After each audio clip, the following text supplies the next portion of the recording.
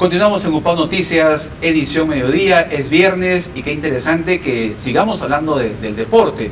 Hace un momento hablábamos del atletismo, ahora vamos a conversar con dos jóvenes universitarios que practican las artes marciales y que quieren llevar a través del deporte un mensaje de responsabilidad social a, la comunidad, a la ciudad de Trujillo. Me refiero a Martín Herrera y a Roger Méndez. Ellos son fundadores del proyecto Héroes del Mañana. Bienvenidos, Martín y Roger a Noticias. Beto. Buenas tardes, bienvenidos tardes, a- a Noticias.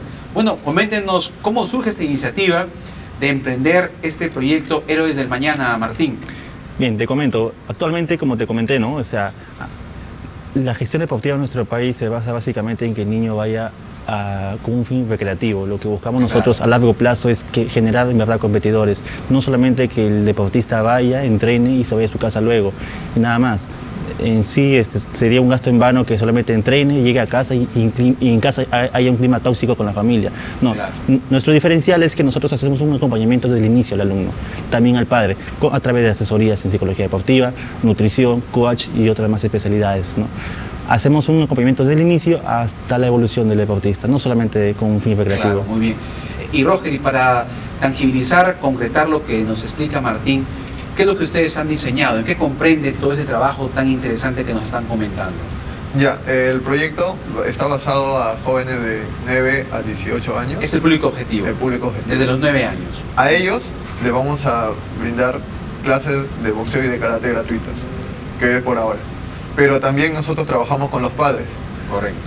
A ellos, a- al mismo tiempo que trabajamos con los jóvenes, trabajamos con los padres, brindándole también especialistas, tanto en psicología deportiva y con un especialista nutricional, para que sepan cómo ellos deben alimentar a sus hijos y también ayudar la relación que deben tener entre padres e- e hijos.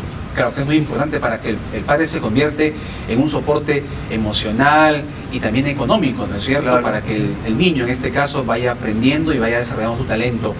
Entonces la idea es de ustedes es formar competidores de alto rendimiento. Bajo un enfoque integral, no solamente Claro. como comenté, ¿no? con un fin recreativo, sino que en verdad formemos competidores a largo plazo, que es eh, también la, es la temática de nuestra campaña, Héroes del Mañana. Claro.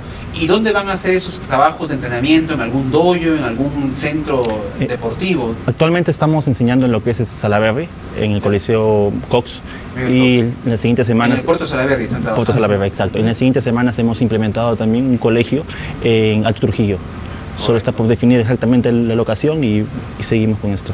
¿Y cómo va a ser la etapa de captación? Por ejemplo, ¿cómo ustedes determinan que este niño de 9 años tiene habilidades para las artes marciales, por ejemplo? ¿Hay una evaluación previa? Sí, en estos 15 días estamos convocando la mayor cantidad de niños a través de charlas informativas, visitas al colegio, volanteo en la zona, etc. Y en los 15 días estamos haciendo una enseñanza básicamente de juego.